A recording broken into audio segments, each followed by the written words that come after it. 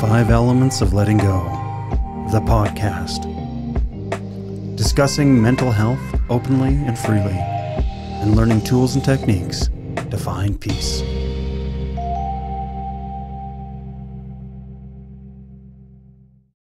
Hey everyone, it's Jared McCollum, and welcome to the Five Elements of Letting Go podcast. I'm excited to start this journey and to share with you uh, some of my friends and people that I respect and share with you their approaches and understanding of mental health and how they're using their tools and techniques to find peace in their life and to manage their own mental health issues. Something I want to become very clear through the process of this uh, podcast and uh, these videos that we're putting up on YouTube is that everyone has mental health concerns and that we all need to talk about it more and be open about it and honest. And the more we discuss and share, the more we can help one another.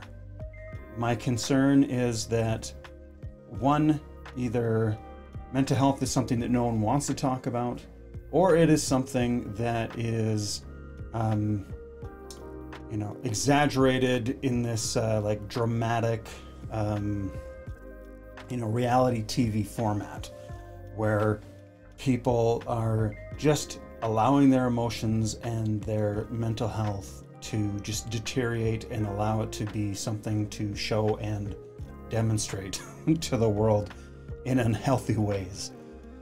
So, the the goal throughout this uh, series of uh, podcasts and videos is to provide us with tools and techniques that everyday people are using. You know, uh, some of the people I will be interviewing are professionals, but I don't want to know how they're using it for their patients. I want to know how they're using it for themselves. And so, to start off the series, we're interviewing a lot of um, my friends from a very diverse uh, group of professions and experiences in their lives and using that information to help you get a handle on your mental health and to develop coping tools and strategies to understand the purpose of your emotions and to uh, live within the moment and find peace. I'm so excited to present this. I've been thinking of this concept for many years now, and uh, we're finally ready to do it. And I'm excited, especially for how it can help you. So, join us tonight. My first guest is Tom Barker, and you are going to love him. This is going to be really funny, and it's a joy, and uh, I can't wait to have him back. So, uh, stay tuned, and here we go. Episode number one of the five elements of letting go.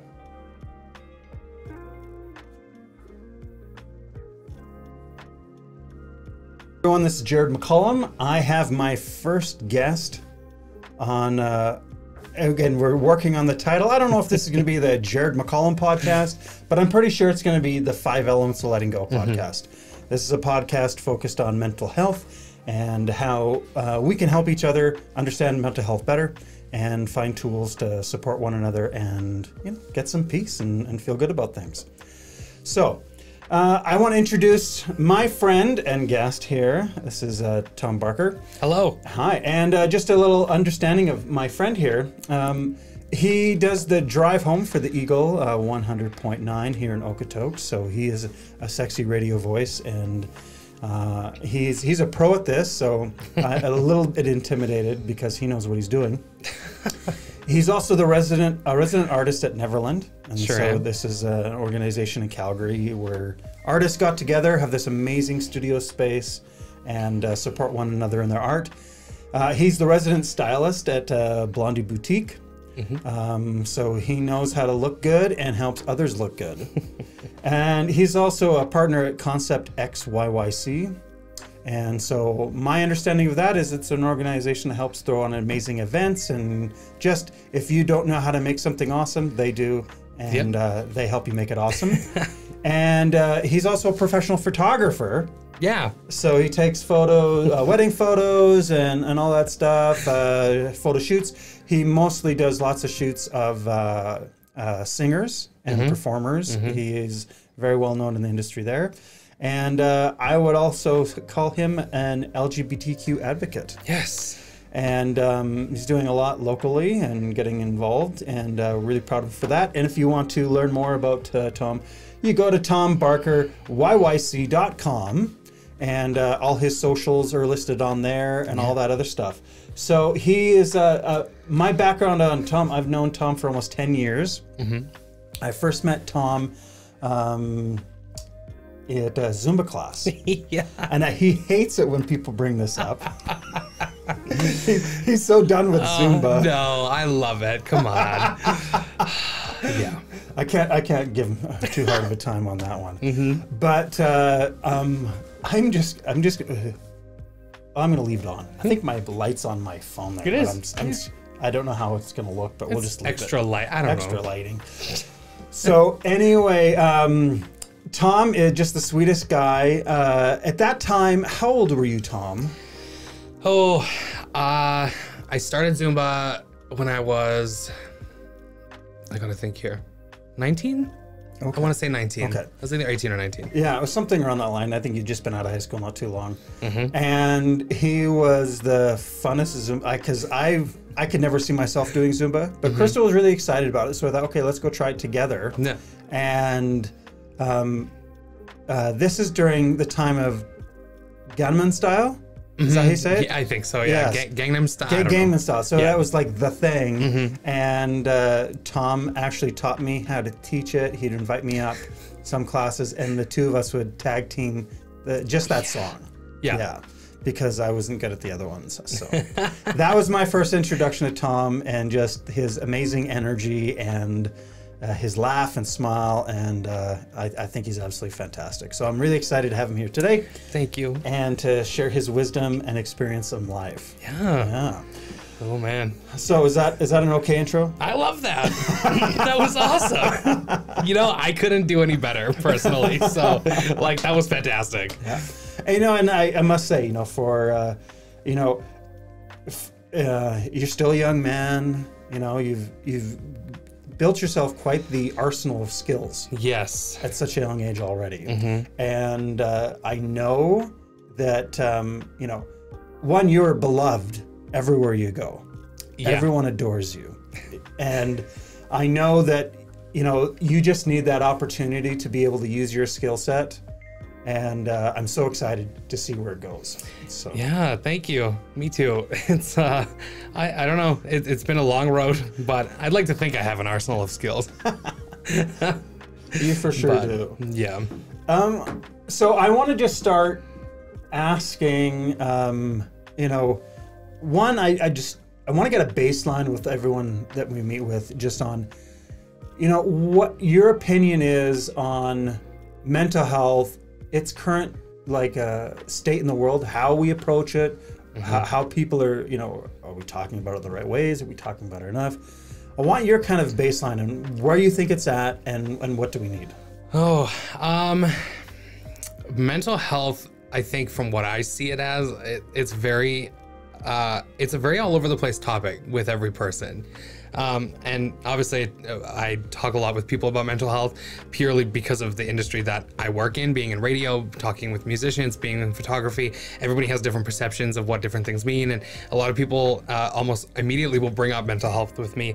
Um, where we are in the world right now with mental health, I feel like we're very split, and I don't know if this is true or not, but a lot of people either believe that mental health doesn't matter, or they believe it's all consuming and it's their entire life, um, and that everybody struggles with it and all of these things and um, that, that's sort of where I, that's where my perception of mental health is right now because I don't I've I have never been one to acknowledge my own mental health uh, in my life. Even though I have been through the immense struggles that I have I still never believed that mental health was like a thing that I should really pay attention to and that I should um, really like uh, adopt self-care and things like that. So um I don't know. I think that's where my perception sits with mental health right now. We definitely, I believe, need to talk about it for sure, which is why things like this are fantastic. But I mean, I, yeah, that's kind of my perception of it, if that makes any sense. I, I think it does. I think you know what you touched on, where you know there's either those that think it's absolutely no problem at all, or those that are consumed by it. Yeah. And you know, one thing that I teach often and I've noticed is you'll have, um, you know, for so long, the previous, you know, a few generations, it was you don't talk about mental health. Mm-hmm. You know, if someone had any issues, you would put them away somewhere and forget about them. Mm-hmm. And, you know, it wasn't um, something that was given any very little compassion, mm-hmm. very little understanding. Yeah. So you just, if you did talk about it, there's huge risk. Totally. So people just kept their mouth shut and avoided it. Yeah. Now, I think as well, now we've gotten to this point where um, I think it- started with not just social media, but uh, um, reality TV, Oh yeah. where, you know, honestly, like in a lot of those shows, they had to manufacture drama mm-hmm. because people just aren't like that. Or at least they won't when it started. Mm-hmm. And so they behind the scenes the producers would do all this stuff to get people all riled up. Mm-hmm. And then I think that, you know, 20 years ago we people started to think, "Oh, oh, that's how Yeah. we're supposed to be or that's okay." And it ushered in along with social media and all this this all-consuming like before you couldn't be emotional and now it's all about emotion. Yes. 100%. And so you get people that are consumed by their emotions Yes. and then you have the other subset, the old schools that don't even want to talk about it. Yep. And like, if if you have a problem, it's your problem. Exactly. And I really do think it's we need to find that middle road again Mm-hmm. Yep. of, you know, again, there's nothing wrong with our emotions. Like one thing I always teach is, you know, your emotions are signals of perceived imbalance. yeah. So when you're feeling an emotion, it's just telling you how you're, int- you're interpreting your world. Mm-hmm. It's not a bad thing. It's mm-hmm. not something you have to stop. It's when you go to the extreme then and just say, all right, I'm going to mm-hmm. let every emotion out and Yeah. I'm going to become a total prima donna Yes. and everything is about my emotions.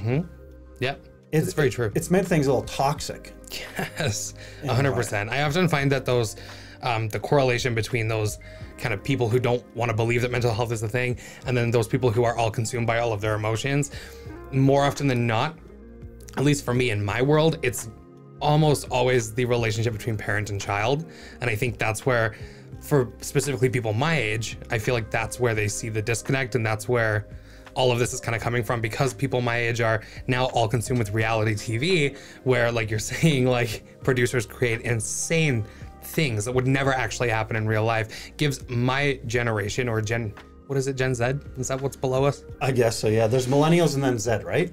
Yeah. So, and I'm a millennial. I think you would be a millennial. I'm Generation X. Are you? Yeah. Yeah, by like two years. okay. All right. I'm, I'm 77, 1977. so oh, okay. Yeah. By like two years. Yeah. Okay. I think it's 79 or 80, something I like that. I have no idea. I don't know. They're so arbitrary and they mean absolutely nothing. For real. But there's there's some to it, of course. something, But not yeah. not it's not these you know defined lines. For real, and it's so terrible that I I always almost always will correlate it to like parents, children, or like brothers to sisters or whatever else. And I think honestly, I think it's part of the problem that there's labels put on it like parents to children or whatever. And you know, but I don't know. Well, but that's the thing, you know, you, we learn every we we we should be learning everything from our parents. Yeah. The the important stuff. Mm-hmm. But if we're not modeled healthy approaches to emotion, Yes. then you know we you know because again it's it's so interesting with a lot of patients it's always but you know it's always the parent or the sibling and this is how i've always responded this is how they respond Yeah. and it's breaking people these habits of okay yeah but you don't have to do that Mm-hmm. just because your family's always done that or you know oh it's in the genes well no Mm-hmm. it's in the kitchen it's in, in it's in your head it's these things that you just learned Mm-hmm. Exactly. and and you can change you can be different Mm-hmm. so for yourself you know what if you look back at your you know growing up that Mm-hmm. relationship with family what did you notice like if you could look back and say oh there's a big you know like did you have mental health crisis when you're younger did something come up that was an issue Uh, Y- yes, I mean my sex- my sexual identity, my sexual orientation. These are those are was one massive thing that, and I think part of this reason also is because uh, for for so long I would suppress who I was, like authentically who I was. Um, that my mental health was like all over the place because it Oh, was yeah. it- you know it was like be you and I mean you like you get it right? You you have people in your life who are LGBTQ and it's it's such a mental disaster. It's a catastrophic disaster that you have to make sense of over you know for some people it's 20 years some people it's 18 for me it was 17 um, that was like my biggest thing because my parents never sorry mom and dad if you're gonna listen to this uh, I know when I when I do my podcast with my son, I was just like, I hope my parents never listen. To. Seriously, yeah. You know, because I and my my mom did, and I got this really long email. Yeah. oh no Yeah, but you know, she just needed to vent, and uh, she did a really. She was very kind about it, but I just I'm not going to respond. There- So exactly don't worry about them. This is about now. Okay, perfect. Exactly. I mean, uh, so my parents never created a very open environment for us to talk about what was happening or what was going on in our personal lives. And of course, we had moved from England to Canada. And so that was a huge change for all of us. And um, they are very work focused and they're very, uh, I would say, conservative. And with like a, I mean, they're ex military. So there's a smattering of uh, crazy in there as well. And um, so we were never really raised to talk about our problems. It was more just kind of like, you know, put up or shut up, get like get out there and work and be an active member of society and all of these things. So for me, the the mental health that came along with that, with coming from England, leaving all of my friends, coming to a new country, in a new school where I then had to make new friends, uh, where I wasn't just gay and big, but I was gay, big, and British. So there was then a triple thing, a triple target on my back, or so I felt. And then uh, I left the public school system and I went to the Catholic school system, and that just, for lack of a better term, fucks you up. Oh my goodness. you know Yeah. when you're a, a teen uh, an lgbtq teen um, getting into something like that where they talk so openly about the hate for uh, lgbtq people. Um, and then you it just kind of fucks you up for three years and then you kind of leave and you don't really know where to go because they're like go out into the world and do this and do that. And you're like oh but like i still don't know who i am as a person right? So that was kind of my biggest mental health thing. And then when i did come out it wasn't the happiest experience. And then so you you deal with the mental health from that as well. And then you kind of deal with it every day. So and you kind of take each day as it comes. And i don't know but that to answer your question in a very long-winded term that was my kind of biggest struggle. Wow. So I can't imagine, like, I know for me as, um, you know, I grew up again in a very strict Mormon home, and I was not Mormon. i recently learned this about you Oh, from who? i didn't know that you i think or oh, something did we talk about it? Yeah. at, at dinner i don't, I don't okay, know. yeah. Yeah. So anyway, when you're, you know, and again, I, I'm not going to compare my experience with someone who's coming Right. out. Yeah. But there's this ideal of how who you're supposed to be, Mm-hmm. you know, who your parents see you as, and what the world sees you as, Mm-hmm. and there's this internal fight constantly of that's not who I am. yeah I am not that person. Mm-hmm. I am this. I, like I feel more like this. Yeah. But you constantly are battling your true self to fit in with everyone and- and, Mm-hmm. Totally. Mm-hmm. make everyone else happy. And you know, I uh, I left the church when I was you know 16 for a while. I moved away from home and um, Mm-hmm. you know lived, but there was still this draw to I'm still have to be somewhat this and Mm-hmm. Right. It was so you're constantly battling that Mm-hmm. and i don't think it's anything like what you and my friends have gone through but i i have an inkling of what that that constant like internal torment of i don't i don't want to be this person mm-hmm. yeah but everyone else there's that expectation and that push and yes you know to me honestly i didn't really embrace that person Mm-hmm. until i was in my 40s right you know? Um, but i just cannot imagine you know the what kids go through those that go come out at that age you know like especially when i was in high school. Oh my god those poor kids you know? But so do you think Um, like, it's interesting. Like the number one cause for like suicides in the state of Utah is gay kids, I believe it. and like, and, and uh, you know, among the number one cause of death for any youth in Utah is, is suicide. Yeah. Um, and I would imagine, you know, like I think the number for most places it's suicide in young young adults because they just, I, again, your world is so small Yeah. when you're that age that if you don't have a role model or some other understanding, you know, Yeah. you don't feel you have a choice. hmm It's true. And unfortunately, I think a lot of the role models that people, that these kids do have are uh, troublesome at most. they, they look at celebrities and they look at these people who can afford to be who they are because Yes. they can afford to choose who's around them. Yeah. And unfortunately, I think these kids uh, who are part of these nasty stats, as far as I'm concerned, they, they, the people who they have around them are really are the straight parent kind of type. They really exactly who we were just talking about, right? But I think that's that's what's so sad about it is they'll look at. I, I need to think of a a role model who I think doesn't help, which is there's a few of them.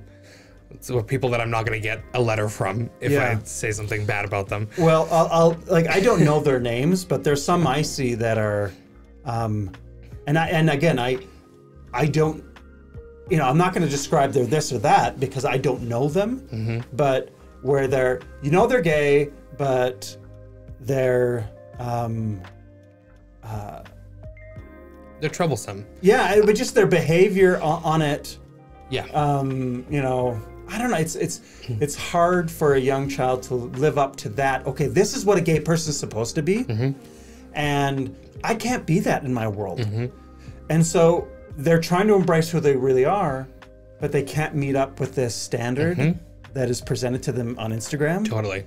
So now it's just a new um, mm-hmm. kind of inner turmoil Yeah. they're dealing with. And quite often, more often than not, the only way that they see out of it is to kill themselves. Yeah. Right, or to end their life. So, it's it's a really nasty, vicious circle that I think a lot of kids are, are unfortunately gonna go through. Hopefully, if I have anything to do with it, they won't go through it. Mm-hmm. But it's unfortunate that that's is going to happen. Right. So, did you have any coping mechanisms or things that you did at that age to it? Like, if we have any kids that are listening that are in that stage, what worked for you? Uh, Was it just survival? Uh, honestly, yeah, it was survival of. Uh, I think I smoked. I started smoking um, because. And anybody listening, please don't smoke. Don't start smoking. I'm two days smoke free right now, so this is great, right? Oh, wrong one. Nice, no, wrong good. one. I don't know which one it is anymore. I don't know. I don't know. Uh, yeah, so I started smoking, but please don't smoke. Um, but I think if anybody is listening and they are going through, through something like this, um, it's to like find that one thing that truly is yours, and it's that one thing that you, um, like for me, it was my journal, and then every, and every day I would just journal, kind of what I was feeling and kind of who my inner person that I kind of felt was, um, like it, my journal was my my gay heart and my heart heart was my external heart if that makes any sense. There was kind of a different piece of me. And then when i turned 18 and i started going on and i started doing all of these things um, my friends were a huge support. Um, i came out to a very select few of them first. Um, and they i was very blessed that i had friends that stuck around and did all that sort of stuff. Um, but when i wasn't around my friends honestly it was my journal. So Journaling is brilliant. brilliant. You know, it's Yeah. such a good tool. I recommend it to a lot of patients. Like I used to um, write, you know, two to three pages a day in my journal in my twenties, uh, every day. And Wow. I think after the end of like two years, I had like uh, these little uh, this many binders, like you know, four or six binders my god yeah of what I'd write. And I don't journal anymore, right but I there, there's it, it would be good for me to start Yeah. because I do think if you can get those thoughts out of your head before you go to bed, mm-hmm. you know, you kind of lifted that Yeah. that burden from your mind, Mm-hmm. but you've also kind of, you know, made a decision and a statement to yourself of, okay, this is where I am, this is who I am, and I'm mm-hmm. okay with that right now, Yeah. and I'm, I'm good to go to bed now. Totally. Kind of work out those thoughts because mm-hmm. I, w- just thinking about them, mm-hmm. you know, like uh, Alan Watts always said that you know thoughts are, uh, you know, they're they're a good servant but a terrible master. Totally. And Yeah. a lot of us let our thoughts master us.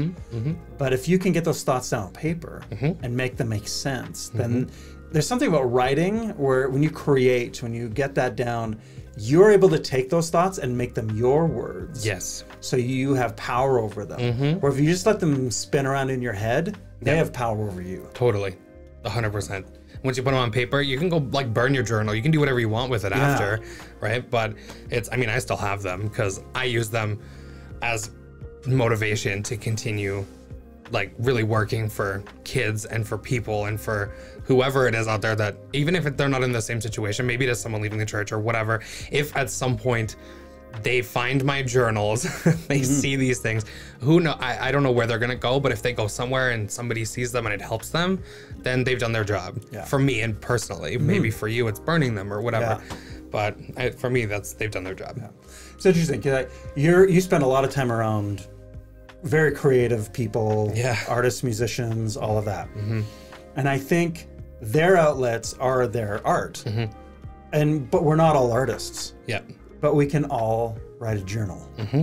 And it is I think it is the same Yeah. as writing a poem or writing a song Mm-hmm. or painting a painting, you know, or you know, doing whatever it is that your artistic thing is. Is if you don't have those things, Mm-hmm. you can always journal Totally. and Mm-hmm. be creative with your words in that way. Yeah, I mean, I when you uh, I recently was sitting and reading Kurt Cobain's journal because you know how Oh, they yeah. published it, right? Yeah, yeah. And um, I, I, this is gonna sound very weird, but um, when you're writing a journal, imagine somebody's gonna read it, Mm-hmm. right? And imagine that the problems that you're going through, somebody else is more than likely gonna go through as well. And by you getting this out, and because when I was reading Kurt Cobain's journal, um, he was saying things, and although me and him are could we could not be further apart as people, but there was certain things that I really related with him on, and that himself, aside from music and aside from everything else, his journal was the piece of art that spoke to me. Wow. Right. So there's everybody. Your journal is your art. It, it might be very personal to you, but it is art to somebody else, and that's the way you kind of have to look at it, right? That's so cool. you know, he's a lot of people don't understand how incredible Kurt was. Oh no, they don't. You know, one, he, you know, he often got uh, bullied and teased that he was gay. Mm-hmm. And he never, you know, no, I'm not gay or anything like that because he was a huge advocate. Yes. And he was like, you know, and I think a lot of men listen to that music and they think it's this really hard stuff. But if you listen, he's got songs about, you know, how rape is so terrible, how, you know, how to treat women better, how, mm-hmm. and if you don't really understand, like he was always defending women's rights and, and women and, mm-hmm. uh, you know, gay and lesbians. And mm-hmm. he, he basically, I think it was in, I can't remember which album it was. It may have been in utero or whatever. It was in the liner notes in the cassette in the in the cd that basically said you know if you are homophobe or misogynist we don't fucking want you Yeah. at our concerts I love that. you know and just told mm-hmm. them to just just piss off Yeah. and he was always like that and you know whereas today he would have been celebrated Oh yeah. you know, he would have been a mm-hmm. he- even bigger star than he was. Yeah. But no one would talk about those things during that time. Oh, no one. You know, and everything he wrote about was, you know, was being an advocate for not only that but also mental health. Mm-hmm. Because he struggled all the time. Uh, yeah, daily. Yeah, it was. I, I listened to a podcast actually uh, with Frances Bean Cobain. Um, and anybody else out there doesn't know who that is, Kurt's daughter, daughter. yeah. And um, he, she was saying about how uh, because she, I believe she never met him, right? Yeah. Yeah, she, Yeah, she never. She was a, a toddler. I think she was 18 months old or whatever when he died. But um, the only way that she got to know him was through his journals. Yeah. And uh, and then obviously through Cour- Courtney Love as well, who's just a friggin' disaster in general. Oh, girl. yeah, Yeah. no kidding. But uh, that's she got to know Kurt through there, and she was saying a lot of things about how um, Kurt was such a fearless. Uh, uh, kind of like you were saying, he was a fearless def- defendant, defender, Defender, yeah. um, of so many different social platforms and justice things that Mm-hmm. needed to be done, and people don't realize. And she was saying about how, um, how deep all these kind of deep rooted issues like women's issues and like um, LGBTQ issues, all of this culture is deep in Nirvana's music and in uh, the things that Kurt would do and say and all these things, but people would never notice. They would never see all of these tiny little things that he would like write or uh, these things that he would have that would say like "I love gays" or whatever it is. Um, and people would never see that. And I think it's the coolest thing in the world. And I think it really shows that people don't know how far deep gay culture and all of these other things go in in parts of the world. But there you go. That was another long-winded answer. That's so cool. But no, you're right. I think, uh, you know, like your tool was your journals Mm-hmm. to make some sense of it all. And, you know, I, I just love that. I think that's beautiful to have Mm-hmm. that opportunity to, you know, if you can't talk to anyone else about who you are and what you're going through, you can share it with yourself. Yeah. But don't let it just bounce around in your head. Get it down on pen, paper, or, you know, or in your computer. S- you know, and or just press record on your record app on your phone Talk it out. and talk it out. Talk Like, it out with yourself. Yeah, I think it's it's huge. You know, Yeah. I um, uh, you know, my best friend came out in his 40s, Mm-hmm. and I remember him like he had a, of course, uh, he was able to afford, afford a fantastic therapist Right. you know and one thing is therapist because i think andy was r- really worried about um, you know he's just like i'm gay but i'm not that that kind of gay Yeah. and Yeah. and if people don't understand what this is is there's you know Mm-hmm. i think those that especially when are in a closet for a long time or whatever they have this image of there's only one type of gay mm-hmm. and you have to be this flamboyant Ugh. pride parade you, you know don't. like Mhm. in your face gay Yep. and I, th- that was something that that's one of the hurdles he dealt with because he didn't you know for some reason he didn't see himself as that person Right. And if i can't see myself that then i maybe i'm not a, Yeah. a, a real gay Right. whatever a real gay is. yeah. Yeah. but his therapist is fantastic and he's like you know andy Yeah. you know you you're gonna be your kind of gay Mm-hmm. you know you're just gonna be you you don't have to you don't have to go to pride parade you don't have to do all those things you don't have to be that and you know i think i gave him permission Yes. to be himself Mm-hmm. and to kind of um, um, just be him just a little more gay Yeah. you know Totally. yes. and uh, of course, like a year later, him and seven guys got this awesome place down in LA and went to Pride there. and course. he had a blast. So yeah. Yeah. he's, Classic. he's never become, you know, he's not the, Mm-hmm. you know, uh, that, he, he never became the thing he was like, I'm not that. yeah. But he's else. He's himself. And Yeah. he's very happy and embraced this amazing life. And he's got such an amazing support group. And Mm-hmm. he's introduced me to like a gaggle of gays that are just amazing. Yes. And one thing is, um, you know, and, and I know any group can have a bit of drama or some issues, but Mm-hmm. they're so just. Chris and I have, made the, this comment before. Now that we've been exposed to so many in, the, mm-hmm. in, the, in, in the community, Yeah. the thing I love about gay people is, or transgender, or anyone that has gone past that and embraced themselves, mm-hmm. is they now know how to live in the moment and accept themselves. And there's this freedom that comes from that. Yes, there is. I mean, it's when you when you finally get past that like that hump of of your coming out or, or whatever it is. For you it's different for everybody but whatever it is for said person once you finally get past that you you spend so much time worrying about what other people think and if they're if you look too gay when you're leaving the house or like um how how the fuck am I gonna come out to my parents or whatever? Once you pass whatever hump it is, you you appreciate life completely differently. Um, I do. Like every single morning, I wake up and I'm like, fuck yeah, I woke up this morning. Like, and it's it's a different zest for life that you get once you can openly do it. And I think it's something that a lot of people really take for granted. Um, their ability just to wake up and go on a date because for so long there's people like me or people like uh, in kids or even like your friend who couldn't do that Mm-hmm. right? So it's a beautiful thing. We do Yeah. have zest. Yeah. yeah. And I, you know, it makes me think this this this whole discussion about, you know, this is the lesson that we all need to learn from the gay community, mm-hmm. because I think a lot of, you know, whenever we're feeling depressed, you know, it's because we won't accept ourselves. Mm-hmm.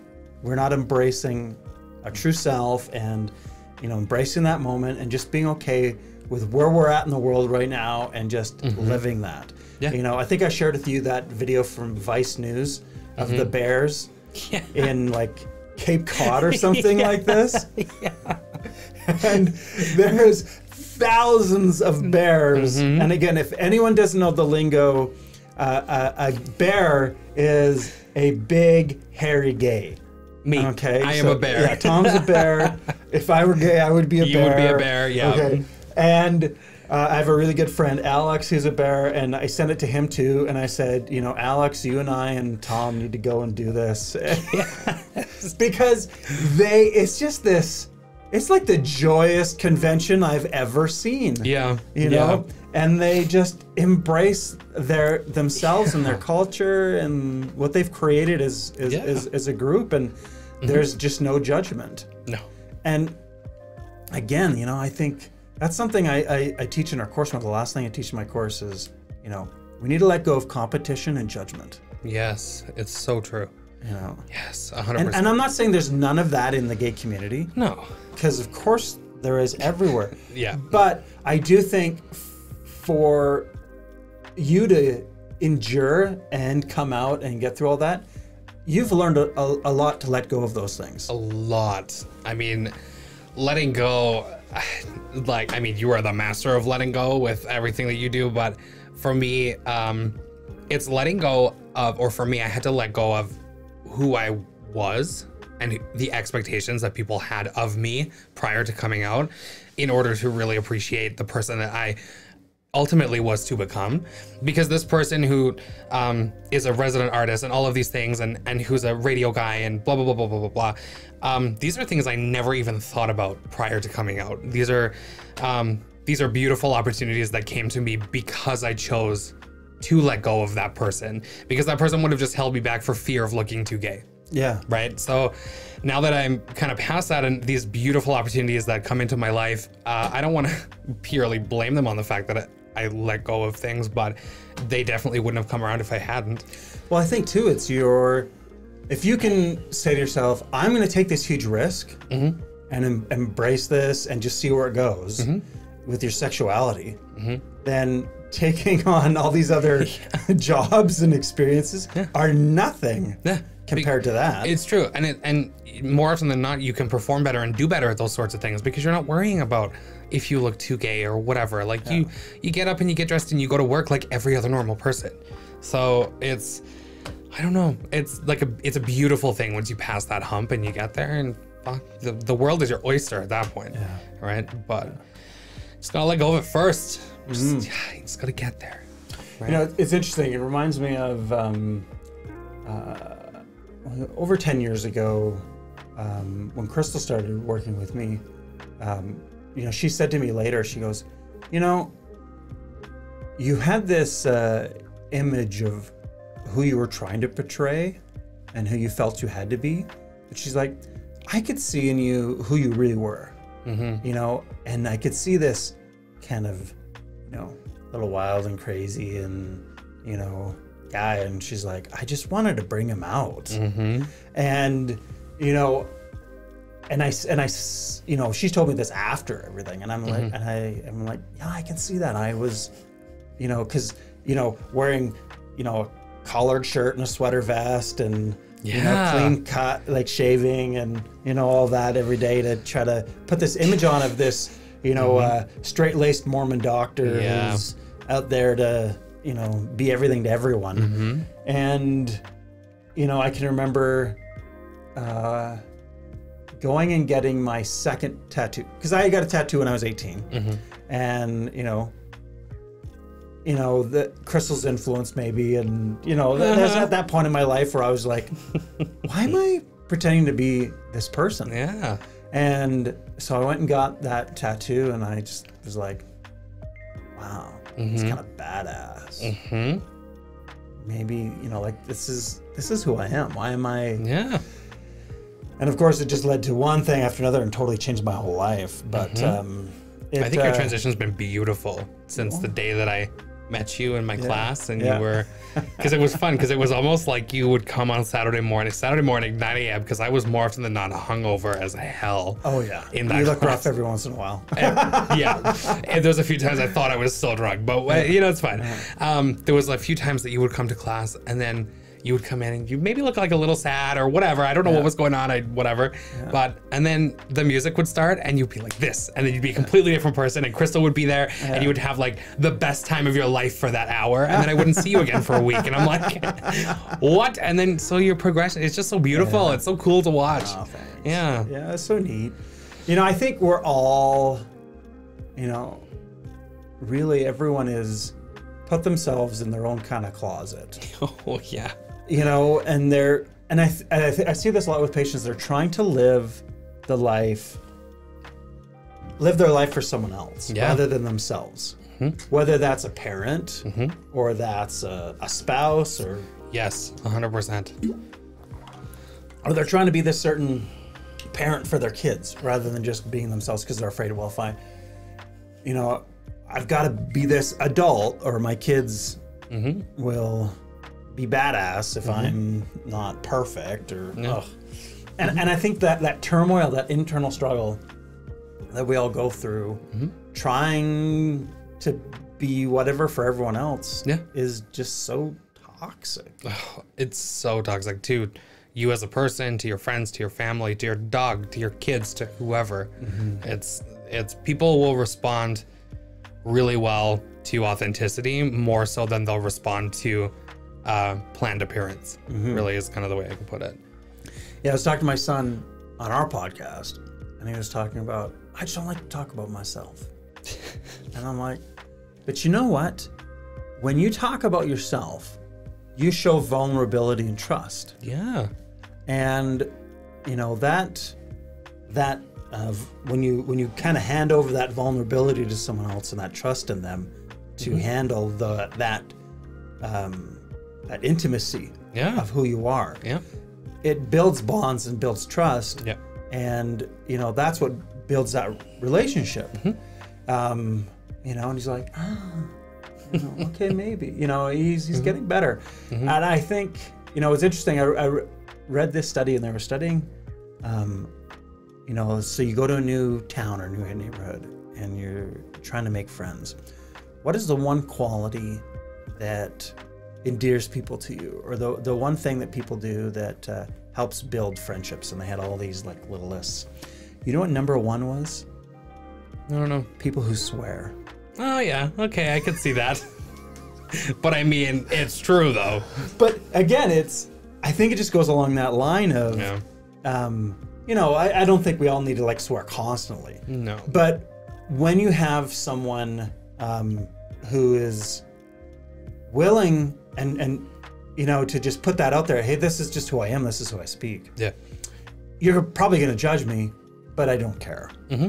And when people hear that, they're just like, hmm, this is different. Who's this person? Yeah. I, you know, like I remember years ago, I was treating one patient. She's like in her 80s. Right. And I was I was doing some cupping on her IT band, and Mm-hmm. like that's that suction cup, and I was sliding it, and it, it hurts. Yeah, I believe real it. bad. And so I'm I'm doing it real quick on her leg, and all of a sudden, she's like grimacing. She goes, "Ah, fuck me!" and this is like this 80 year old grandma. I love that. And I'm just like, "I like you. You're awesome." Yep.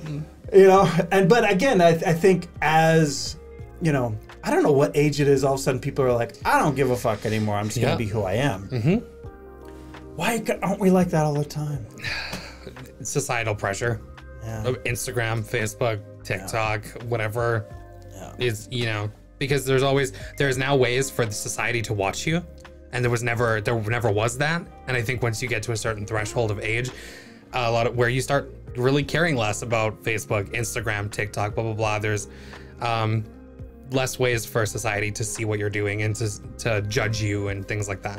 And that's kind of where like I found I've I've been off social media really for like a couple of months, like maybe a month. I mean, the only time I will like talk to you, Instagram or whatever, and I'll still watch my messages, but like I really like try to stay off of it as much as I can because, a, I mean, uh, I freaking hate having to have like an image of what mm-hmm. people think about me, um, and unfortunately, that's part of my job, Yeah. right? Like my day to day to day, people look at me and they're like, "Oh, it's the radio guy," and blah blah blah, and you constantly have to be on, and you have to be blah blah blah blah blah, and this that and the other, and I like I just don't give a shit. Mm-hmm. really. You know what I mean? Like and I it's it's terrible because you you do have to have some kind of couth when you're in radio, but Yeah. I mean shit, I don't care. Well, and it could be exhausting. It is so exhausting. you honestly. because you you know i think there's this expectation like of course i have you know my my business stuff Mm-hmm. and mine and like i hardly ever post the business stuff Mm-hmm. anymore i'm just so tired of it and i pay a fellow you know to do it pre-covid and i'm Mm-hmm. just waiting for him to kind of get ready to get back into work again but Mm-hmm. um, I'd much rather pay someone to do that stuff for me have to do it.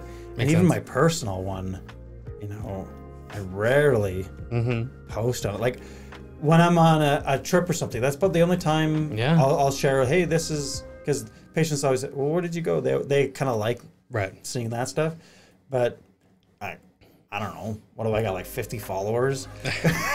so I never, I only post what I want for me. Mm-hmm. I never post what is the expectation. Right. You know, Yeah. because I do think, like, I always look at it as, wow, I could put a lot of effort into this, but Mm-hmm. who's going to care? Like, yo, I have two, sorry, I have 230 followers. Oh my god, you're an influencer. Oh, I'm an influencer. influencer status. yeah, I don't know. Social media is a tough one.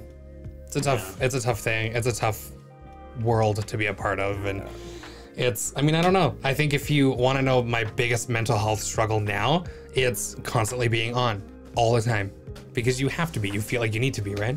So being on is that the the image of who Tom is on, or is it just pu- always putting that the the positive vibes out and can never, sh- sh- you know, Um, be down? So I think it's so the, there's a, a little bit to unpack on this topic because, um, and I think you're y- you'll I think see and, and maybe learn this as you go on with your podcast. But when you when people listen to you, they get a really specific vision of who you are as a person, and people forget that when they see you in in uh, or let's let's say radio when when they listen to you every single day for for me it's been three years.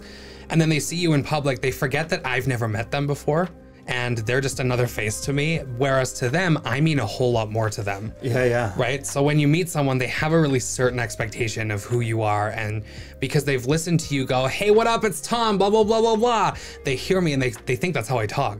Yeah. So it's really disappointing to them when I'm like, "Hey, how are you? What's up?" and it's They you- want Radio Tom 24 7. they want radio Tom 24 7 and it's it's sad because you you as a jock you don't want to disappoint them right? Like you want them to keep coming back to your show. So there's a whole lot of things that go through your head during this. And mm-hmm. for me when you're in small town radio especially a place like okotoks or the foothills where there's 50000 people give or take mm-hmm. um, that's still small enough to to for a lot of people to know who you are and you but still big enough for people to you don't have no friggin' clue who they are right? Like mm-hmm. so i think the biggest thing that i struggle with now is that is is the constant fear or pressure of disappointing people when they meet me in person. And it's a very weird thing to navigate because you also um you also you don't want to you don't want to disappoint them but you also want to make it clear to them that that's your job and that's not who you are. And it's Yeah. you more often than not when you meet somebody in like Walmart it happens to me at fucking Walmart almost every single time. It's Yeah. Walmart. And um they just I don't know it, it's a very weird thing to to go through and because my friends obviously know one side of me and then you know a different side of me and then the listeners will know a different side and my coworkers know a different side and a lot of times you a lot for me like they will are almost always the same person but i don't know when i meet someone in walmart and they want me to fucking be like yo what up it's just it's yeah it's really difficult to, to navigate but Yeah. i don't know It is tough. Like, you know, like I, uh, we have four thousand patients. Mm-hmm. So Jesus. out of you know the town, the population of Okotoks, you know, I can't remember. I think we worked out the math once of like it's like one in five Yeah. or something. Of every person in Okotoks is a patient of mine, and you know what I would find early on is our patient, you know, would grow and like I can't even go anywhere in Calgary oh i believe it without a patient see me. Mm-hmm. Okotoks, ever I go, I see a patient. Yeah. And in Calgary, and i- initially it was just like, oh crap, I can't. they can't see me buying that mm-hmm. for or real eating that. For real. oh, don't even get me into this conversation Yeah. because I I can relate to that on Yeah. so many levels. Yeah. Like especially as a gay dude. yeah, The things they, I They can't see me smoking that. For real. oh my god, they can't see me buying condoms. Like they, they can't see me buying any of these things. Like yeah. and ten liters of lube. Like For, for real. Oh, it's such a struggle. yeah. But yeah. But yeah, it's that. But I think if if there were a cure or a, a treatment for this, it would be, you know, but it gets, but it's tough because on the radio you have to be a certain energy on the radio. Mm-hmm. Where on a if like I'm lucky on this podcast, I can just be myself. Yeah, it's true. Yeah. Where you on radio, there's an expectation and an energy that has to be there. Yeah. Because everyone's tired, they're coming home, they Mm-hmm. they want that from you. Yeah. So I can see how that would be a lot tougher. Yeah. Because it you can't just be authentic all the time when you have to. Mm-hmm. Because I'm sure as actors, there's this idea of, oh, Yeah. well, I've seen you in this movie. You're this person to me. Totally. When that's not who they are at all. Yep. And they don't want to play that character for everyone. Exactly. Like uh, Paul Reubens. Mm-hmm. You know, I love Paul Ru- Reubens because, like, when I was a kid, Pee Wee Herman was my hero. Yeah. Why? I I don't know, but he was, and I absolutely adored Pee Wee Herman. Mm-hmm. And Paul Reubens is nothing like Pee Wee Herman. No. No. You know, he's he's a he's a he's a funny guy. He's not a super funny guy, but he's like super low energy in person. You know, Yeah. he is not. So, you know, I can't imagine people, you know, going up and wanting to meet Pee Wee, and it's not Pee Wee. And it's the same for you. Yeah. So, yeah, I, I think that's just something, Mm-hmm. you know, stars like you just have to put up with. Oh, you know. Sometimes stars just have to burn. You know, it's, I get it. Oh, I don't know. No. You know what? It's still fun. It's only the very certain days where I'm like, get the fuck out of my face. Like, Yeah. you know, but And it, you know, it's nice to be loved and adored, but there's days when you're just like, I just want to be me and by myself today. you mm-hmm. know? So I get it. yeah, there's some days you have hmm. to love and adore yourself Yeah. before you can let other people adore you. Yeah. You know, it's a tough life out here. so that's your like, currently that's your like kind of main struggle mental, mental health wise is just mm-hmm. trying to not feel like you have to be on all the time, dealing with all that energy. Yeah, I just I say to a lot of people, uh, radio forces you to uh, develop bipolar disorder and then force you on how to manage it. Yeah. And it's it.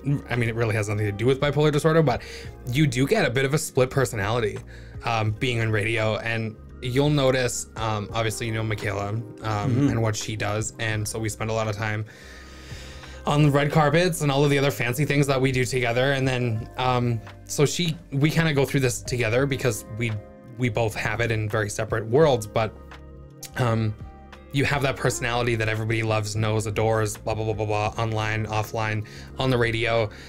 And then you have your behind closed doors personality and more often than not that's the one you enjoy being but you know that your other one is what is going to keep you going if that makes any sense.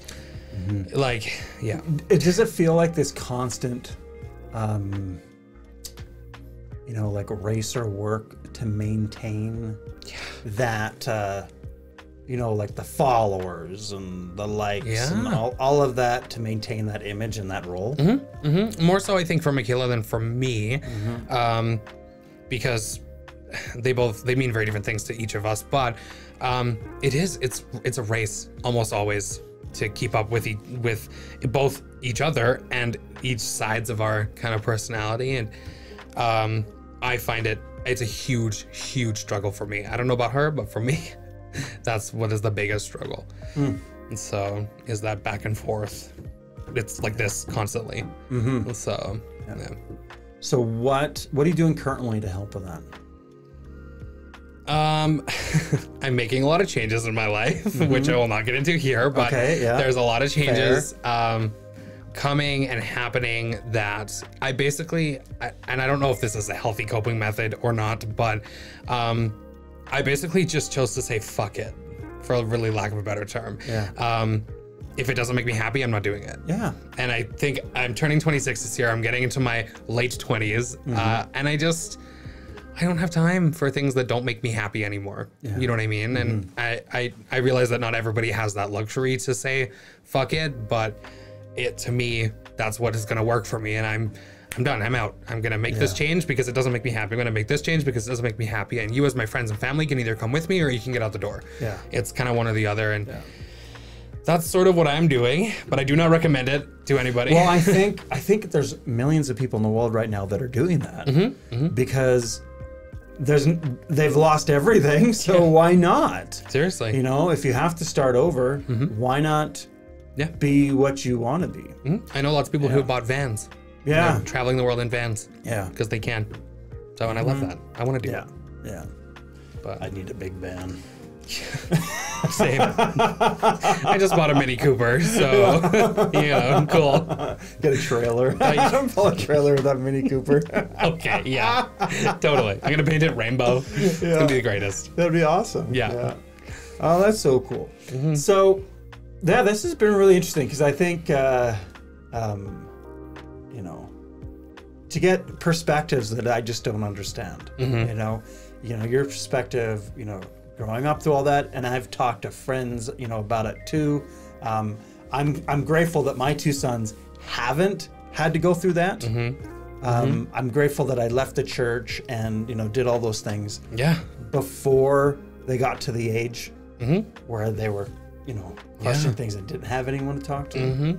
Um, you know, one thing I think is really interesting, like my oldest son, who's um, uh, he's bisexual, and he had, I think he was ten years old. Mm-hmm. I was still a Mormon at this time, but he said to me one day, we were in the car, and he said to his mom and I, "Dad, I'm an atheist," hmm. and I'm like, number one, you're ten. Yeah. How the fuck do you know that word? like, where did that come mm-hmm. from? Mm-hmm. And I'm like, okay, tell me about it. What what do you? What's an atheist? Right. You know, I wanted him to be able to express to me Yeah. What he thinks he is, and he says, I, I don't believe in God. I don't want to go to church. Well, all right. I think this is all just a big joke. and he's ten, and I'm like, okay. And Uh-huh. at that point, I'm still trying to be that person, you know. And Right. we were so initially, I'm like, oh crap, Mm-hmm. what what am I gonna do? What are people gonna think? All this. But then I was just like, no. I said, that's okay, bud. Mm-hmm. You can be that. That's great. You, you feel that way. But for now, we're still just gonna go to church. Yeah. You know, in the meantime, and you're welcome to believe whatever you want and do whatever you want later. But for the moment, we're gonna do this, okay? And he's like, okay. Okay. And, um, you know, and then later he came out to me Mm-hmm. and he was not at all embarrassed No. to just tell me that and talk freely about That's it. because you opened you you laid the foundation for that moment. But I'm so grateful. Yeah. Like I never planned for that or Right. knew where that was going, but um, you know, I can't imagine. Uh, you know, even my you know my middle son who's gay, um, you know, he deals with anxiety and depression enough already. Yeah. Like, I'm afraid I would have lost him Mm-hmm. if he didn't know that he could just be whoever he wants Right. and he's going to be loved and supported. Oh, yeah. Totally. It's um, you know, You won the lottery, man. Oh, I got great kids. you have Yeah, yeah, it fantastic really kids. good. Yeah, there's there's this um I watched this little video from Vice the other day and it was uh Mama Dragons. Mm-hmm. You heard of Mama Dragons? No. So again, let- we're going to go back to Utah. This is just the, my Mormon roots here. Yeah. But there's this organization in Utah called Mama Dragons, Mm-hmm. and their mothers, they'll be like a surrogate mom to any gay kid That's cool. who's. Mormon. right. Um, and a lot of them have lost their sons. They killed themselves, or Right. you know, and or their their kids are gay and they were able to save them. Right. And now they're being supportive and you know just Yeah. and there's like they're all over the place now Mhm. and they're just you know they're like you know my faith is important to me but my child comes first Yes.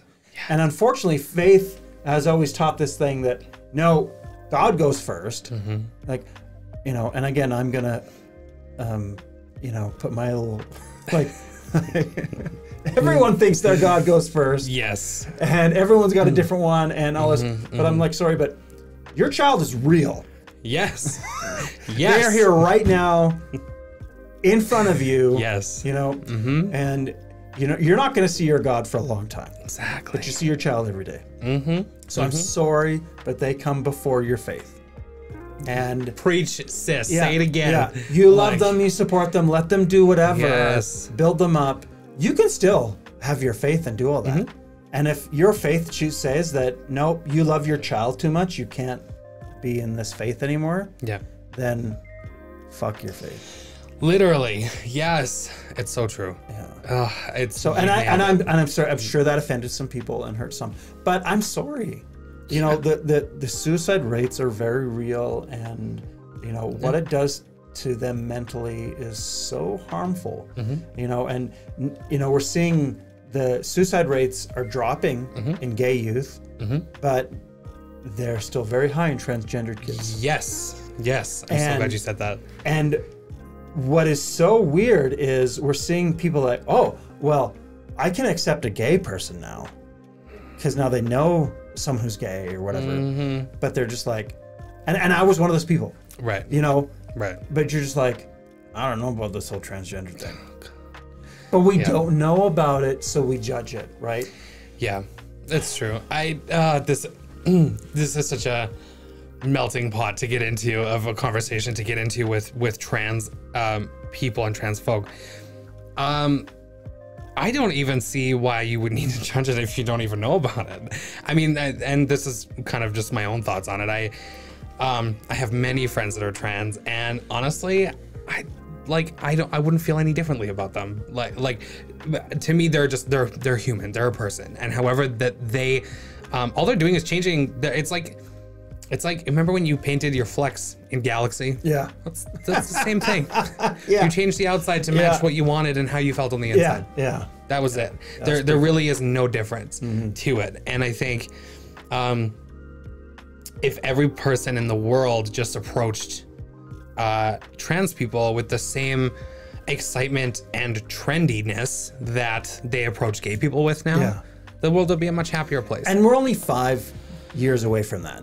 yeah. max. Yeah, Because yeah. Everything is in these, you know, transitions where, Yeah. and, and and it's accelerating, Mm-hmm. right? Like you know, yes, um, you know, gay and lesbians, uh, they had to, um, you know, uh, forge the path Mm-hmm. for transgendered people, um, and they did a great job. Mm-hmm. Some, and I, but I remember hearing stories and reading articles about how, like initially, gays were not very kind to transgender people Mm-hmm. because they're like, "Don't fuck this up for us. You're too weird. You're, Yeah. you know," and it didn't come hand in hand. No, and and if Which I'm being frank, it still doesn't. There's a lot of transphobia within the LGBTQ community. Um, there's a lot of just phobia in general with with within it. It's there's like there's ageism and there is sexism that that is that exists and it's very bad within the community. But um, people forget more often than not that the gay rights movement, the gay rights civil movement, started with a trans woman of color. So they they Yeah, and she fucking kicked ass. she fucking kicks ass. Marsha Yeah. P. Johnson is one of the coolest fucking people in the world. And once you kind of research and get into who she was as a person, and even uh, her best friend, I believe her name was Sylvia, um, they they changed the world as they know it. And so honestly, there there's uh, yeah, I, I I'll ramble about it, but you know, that's what uh, with all the you know everyone complaining about the riots and you know the the Yeah. damage and everything like this, and that never solves anything. I'm like, it 100% it solves does everything. every time. It solves everything. you know, because it was the um uh the Blackstone Stonewall, Stonewall riots. You know that. 50 you know, years ago. Yeah. Yeah. and it's it's been one thing after another that when it's that um, you know that righteous indignation that self-assertion of standing up and saying i'm not going to be bullied anymore i'm not going to take this Literally. and it happens again and again and again and it's what changes society Yeah. and it you know uh, it looks ugly initially and people don't like it but it makes change For real. and so you cannot judge these people for fucking burning a Walmart when their brothers and sisters are getting shot in the streets. For real. So you can't judge that. And and I think too, um, like really interesting. Again, my middle son, who's gay, um, his first relationship um, was with a transgendered boy. Amazing. And I remember talking to him about it because originally he told me he was pansexual. Mm-hmm. And he's like 10 or 12 at this point, right? Yep. so I don't know what is going on with these kids I don't know. saying these these things that I don't even know much about. Dad, And you I'm make like, the bed by being so cool about it. Yeah, and I'm like, hey, what's that? Mm-hmm. I've I don't know that word. Right. And he's like, oh, well, Dad, it just means that you love whoever you love. Yeah. You know, you could fall in love with anyone. It's just if there's that connection and that love, you love them. Yeah. And his this is him at like 11 or whatever it was. Amazing. And I was like, okay, that's super cool. And um, and then he said to me, he goes, you know, Dad, in like 10 years, gender's not going to be anything. It's true. We're not going to be talking about gender. No. It's not going to be this thing that we're questioning or wondering. People are just going to be people, and we're just going to love whoever we fall in love with. It's not going to be that thing, and and I think that's that concept that he taught me at 11 is what helped me change my approach to transgendered folk because it was just like because I think we think there's just this uh, um, you know before there was you know black and white male and female right? And then we're like okay well now there's there's uh, straight men and women and then there's lesbians and gays. And we're okay all right, Mm-hmm. that's too many boxes but it's only four boxes i'm cool with this Right. and then it was okay. Now there's you know straight, gay. Now we have transgender. Now there's you know three boxes. And mm-hmm. there's you know there's a transgender man, transgender female, and but it's there's like endless boxes There is. There's a lot. Um, because the whole thing is is you just need to be you, mm-hmm. and you're a little different. Like I, there's this post that came up. I don't know, it was on Instagram or Facebook the other day, and it was all these different flags now mm, yep. for all and all these different terms. And so there's a part of me going through there. Am I in one of these? Mm-hmm. You know, Yeah. because I, I remember um, my best friend, you know, who came out. We're like, you know, we're like identical twins Right. in personality and just the things we love. And I remember we went on a trip with him and his wife and and Crystal for my birthday when we traveled across country and and uh, I remember we're driving home. Crystal's like, "You know he's gay, right?" oh. And I'm like, "No, he's not." Yeah. She's like, "Jared, he is totally gay." And I'm like, "No," because he. I don't even think he really even knew that, but he. Um. Uh. I was sitting there. And I'm like, "No, he's just like me. He's like gay in every way, but the bedroom." Mm-hmm. and she goes, "No, I'm I'm pretty sure someday he is gonna meet the sweetest guy, Mm-hmm. and we're gonna go on these epic trips, and it's gonna be awesome." And that's exactly what happened. yeah. Yeah. I love that. But it just, you know, we have this idea of you know, who Yeah. everyone is or what that Yeah. bubble is, but to learn from my son that, you know, dad, it, we're not going to care about this No. eventually. And I don't know why people have this obsession on knowing if someone has a vagina or a penis. And like, oh, yeah. you've changed. Okay. Do you still have it? Mm-hmm. Do you not? Would you ever ask a straight person about their penis or vagina? Never. And why we think, Yeah. okay, you've done this, so it is now under like public purview for everyone to know Mm-hmm. what is the status of your genitals.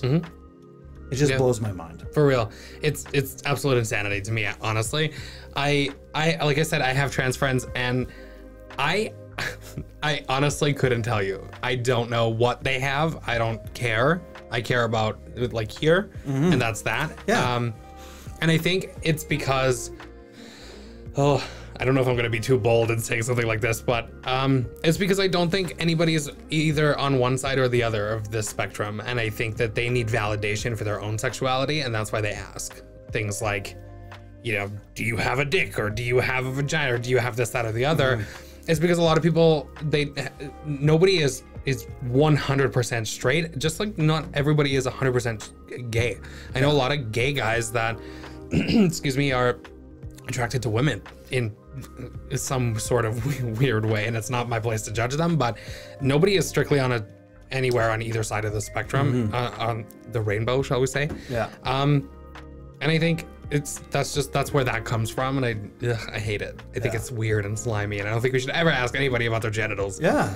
but yeah, i don't know. It's, I don't know. I, we need to get past, and, and I think, you know, they're so desperate to make their world seem safe mm-hmm. and to understand mm-hmm. it, things. Yeah. They don't care to understand that particular transgender person. no they don't They just want, you know, answers to make their world a little clearer on what's going on there, rather than just being sensitive to this person and just accepting them for who they are. Mm-hmm.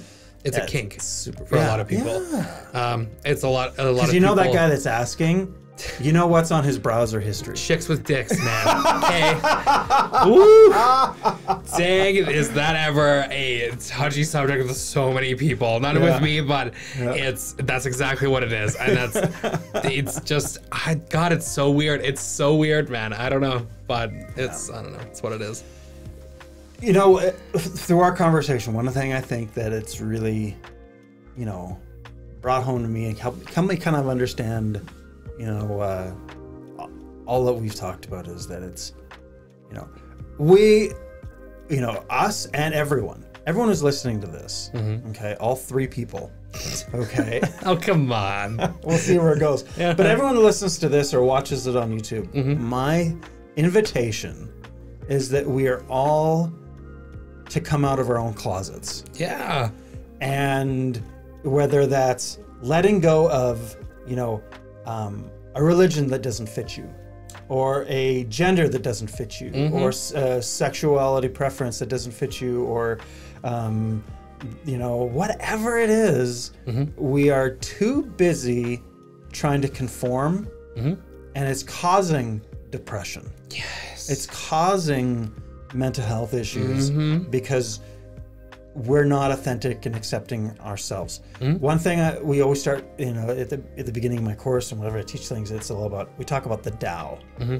and the Tao is the way or our path. Right. It's not. There's not one path, mm-hmm. yeah. and and that's the problem I have with the religion is it's always like, no, yeah. I've got the right idea. Mm-hmm. There's only one right path, and you know, sneaky God is like, I'm gonna make hundreds of religions, and you have to figure out which one it is. Mm-hmm. Yeah. You know, and they all say the same things, and they all say that it was revealed to them in the same way, but there's not one single path. No. Is your path, mm-hmm. and it's it's finding your and you know your Yeah. your Tao is that smooth sailing path. Totally. So if if things don't feel smooth, if things are difficult or uncomfortable, it's because you're not following your Tao.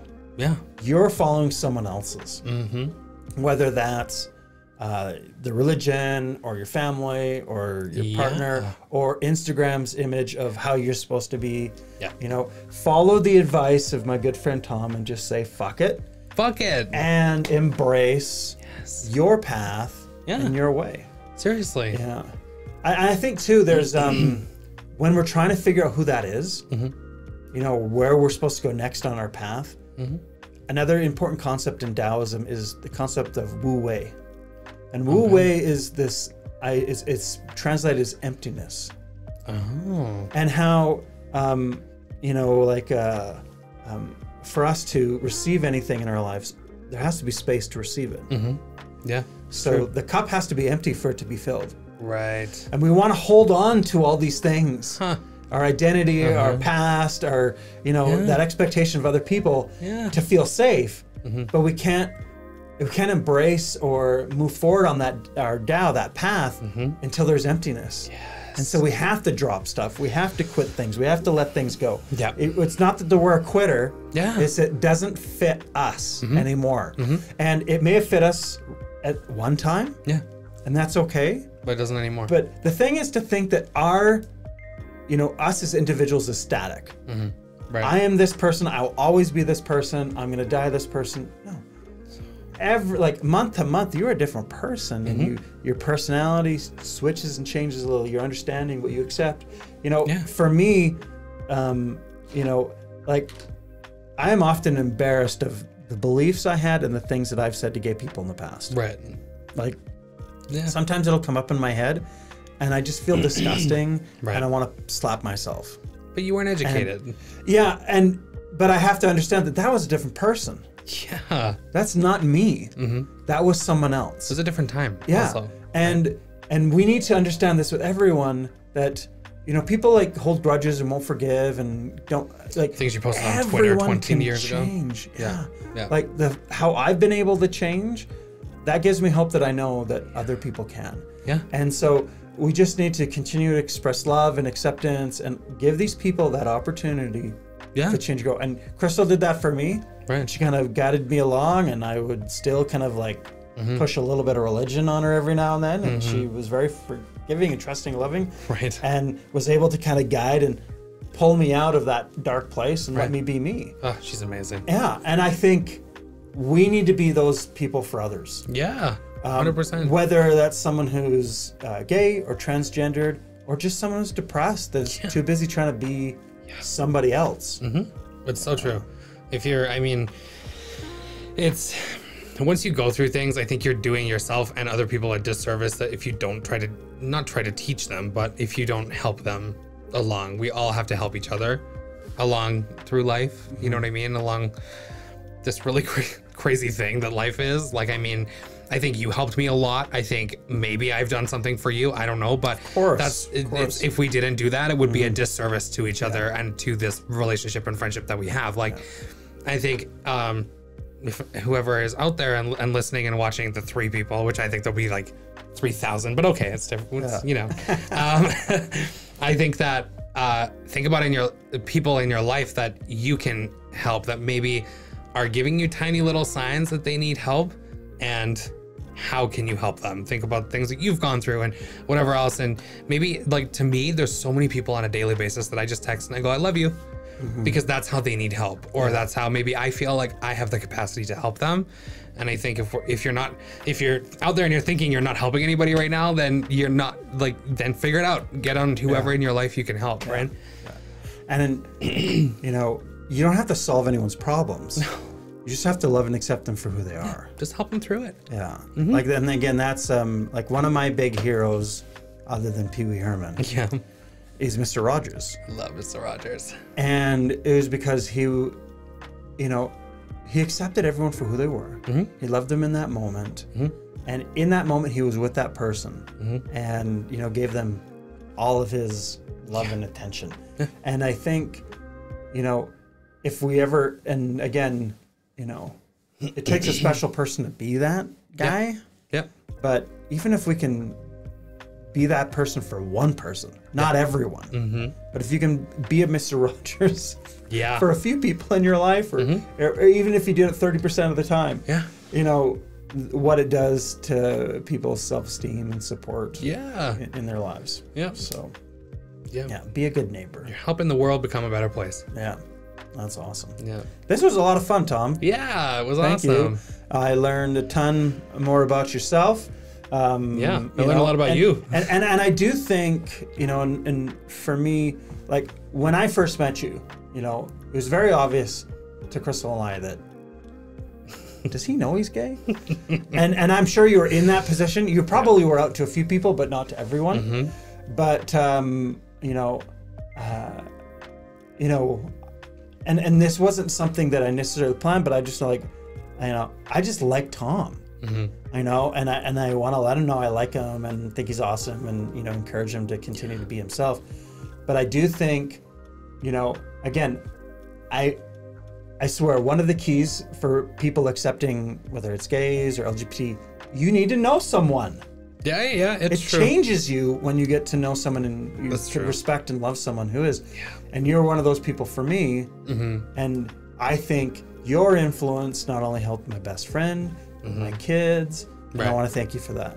Oh, thank you. Because you. I do think your my experience and you know interactions with you Mm-hmm. helped me to see that hey, if my kid is gay, Mm-hmm. that's okay. Because. Tom's awesome and he's gay. Thank you. Oh my we're- god. So I wanted to th- say that and, and say thank you because I, I do think you had, you know, had an influence on me and Thank eventually you. had influence on my children. Thank so you. thanks. Okay. So we'll end on that before I start making Tom cry. Seriously. Um, but yeah, so um, thank you again, Tom. Thank you. um, I will. Uh, we'll be putting these out regularly because I do think the more conversations we have about mental health and give people tools, like. Yeah. you know, your tool of journaling and Yeah. uh, you know, you know, uh, coming out and embracing yourself Mm-hmm. is a tool, you know, for everyone to, Yeah. to find peace and to uh, you know. um, Deal with their own mental health. Yeah. and and please don't deal with it alone. No, You call know. me. Yeah. Call Jared. Okay, get some help, send us a message, comment, whatever, and, and and we'll give you some ideas. Mm-hmm. And um, um, yeah, that's where we're at. And you know, if we can all, you know, it's all about receiving and letting go in our lives. And uh, you know, if it if it doesn't serve you, let it go. For real. Make some space to embrace you and uh, the Yeah. things in your life that's going to bring you some joy and make you feel a little more like you. Yes, it's so true. Yeah. Like, fuck, fuck it. Yeah. Let it go. Yeah. Last words from Tom. Fuck it. Fuck it. Let it go. Thanks a lot, Tom. Thanks, Everyone have a lovely uh, week, um, and uh, we'll see you next week with another podcast. We've got uh, some amazing guests lined up.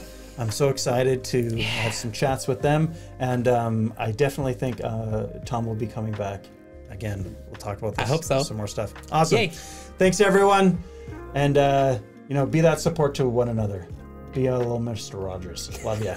Bye. Bye. All right. Thanks for joining us for our first um, episode of the Five Elements Letting Go podcast.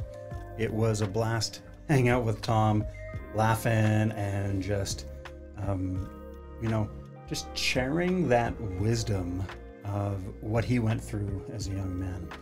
And, you know, pulling those two together really made me think about, you know, this process that you are going through and everyone else is going through of our depression, our anxieties, our mental health issues can often almost be related to this internal fight within us where we're trying to be someone else. We're trying to be that person that everyone expects us to be.